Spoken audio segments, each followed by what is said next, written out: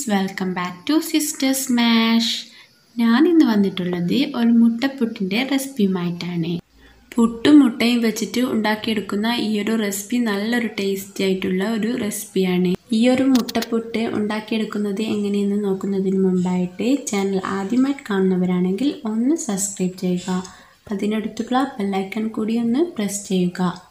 അപ്പോൾ അതിനടുത്ത് തന്നെ ഓളെന്ന് കാണാൻ സാധിക്കും. അതുകൂടി ഒന്ന് പ്രസ് ചെയ്യുക. എങ്കിൽ മാത്രമേ ഞാൻ വീഡിയോസൊക്കെ അപ്ലോഡ് ചെയ്യുമ്പോൾ നിങ്ങൾക്ക് പെട്ടെന്ന് തന്നെ നോട്ടിഫിക്കേഷൻ വരികയും പെട്ടെന്ന് തന്നെ കാണാൻ സാധിക്കുകയും ചെയ്യും. ഇത് ഉണ്ടാക്കാൻ വേണ്ടിയിട്ട് എന്തൊക്കെ ഇൻഗ്രീഡിയൻസ് വേണമെന്ന് നോക്കാം. ഞാനിവിടെ രണ്ട് പീസ് പുട്ടാണ് എടുത്തിട്ടുള്ളത്. രണ്ട് മീഡിയം സൈസ് സവാള ചെറുതായി അരിഞ്ഞതും അരമുറി തക്കാളി ചെറുതായി അരിഞ്ഞതും രണ്ട് മുട്ടയും മൂന്ന് പച്ചമുളക് ചെറുതായി അരിഞ്ഞതും കുറച്ച് മല്ലിച്ചപ്പും കുറച്ച് കറിവേപ്പിലയുമാണ് നമുക്ക് ആവശ്യമായിട്ടുള്ളത്. ഇനി ഒരു പാത്രം ഗ്യാസ് സ്റ്റൗവിലോട്ടേക്ക് വെച്ചിട്ട് ചൂടായിട്ട് വരുമ്പോൾ കുറച്ച് ഓയിൽ ഒഴിച്ചു കൊടുക്കണം. അതിലോട്ട് കുറച്ച് കടുകും കറിവേപ്പിലയും കൂടി ഇട്ടിട്ട് നന്നായിട്ടൊന്ന് പൊട്ടിച്ചെടുക്കണം. എന്നിട്ട് ഇതിലോട്ടേക്ക് മുറിച്ച് വെച്ചിട്ടുള്ള പച്ചമുളകും ഉള്ളിയും കൂടി ഇട്ടിട്ട് നന്നായിട്ടൊന്ന് വഴറ്റിയെടുക്കണം. ചെറുതായി ഒന്ന് വയന്ന് വരുമ്പോൾ ഇതിലോട്ട് ഒരു കാൽ ടീസ്പൂൺ മഞ്ഞൾപ്പൊടിയും ഒരു അര ടീസ്പൂൺ മുളക് പൊടിയും ആവശ്യത്തിന് ഉപ്പും കൂടി ഇട്ടിട്ട് നന്നായിട്ടൊന്ന് ഇളക്കിയിട്ട് ഈ ഒരു പച്ചമണമൊക്കെ ഒന്ന് മാറി വരുന്നത് വരെ ഒന്ന് വഴറ്റിയെടുക്കണം ഇതൊക്കെ ഒന്ന് ചെറുതായിട്ട് വഴന്നു വന്നതിന് ശേഷം ഇതിലോട്ടേക്ക് കട്ട് ചെയ്തിട്ടുള്ള തക്കാളി ഇട്ട് കൊടുത്തിട്ട് നന്നായിട്ടൊന്ന് വേപ്പിച്ചെടുക്കണം.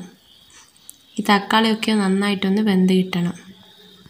അപ്പോഴേക്കും ഇതിലോട്ടേക്ക് ഒരു രണ്ട് മുട്ട പൊട്ടിച്ചിട്ട് ഇതിലോട്ടേക്ക് ഒഴിച്ചു കൊടുക്കാം. മുട്ടയൊക്കെ ഒന്ന് വെന്ത് വരുന്നത് വരെ ഒന്ന് വെയിറ്റ് ചെയ്യണം എന്നിട്ടിത് ചെറുതായിട്ടൊന്ന് ഇളക്കിയിട്ട് എല്ലാ ഭാഗത്തേക്കും ഒന്ന് മിക്സ് ചെയ്ത് കൊടുക്കണം. ഇനി ഇതിലോട്ടേക്ക് ആദ്യമേ എടുത്തു വെച്ചിട്ടുള്ള പുട്ട് നല്ലപോലെ ഒന്ന് പൊടിച്ചെടുത്തിട്ട് ഇതിലോട്ടേക്ക് ഇട്ട് കൊടുക്കുന്നുണ്ട്. ഇനി ഇത് നന്നായിട്ടൊന്ന് മിക്സ് ചെയ്തിട്ട് എടുക്കണം.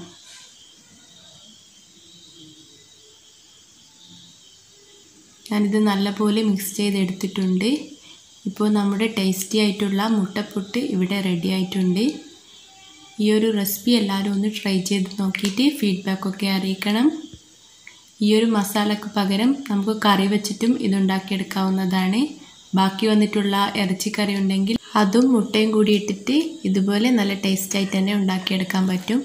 അപ്പോൾ എല്ലാവർക്കും ഈ ഒരു മുട്ടപ്പൊട്ടി ഇഷ്ടമായിട്ടുണ്ടെന്ന് വിചാരിക്കുന്നു. എല്ലാവരും ഒന്ന് ട്രൈ ചെയ്ത് നോക്കുക.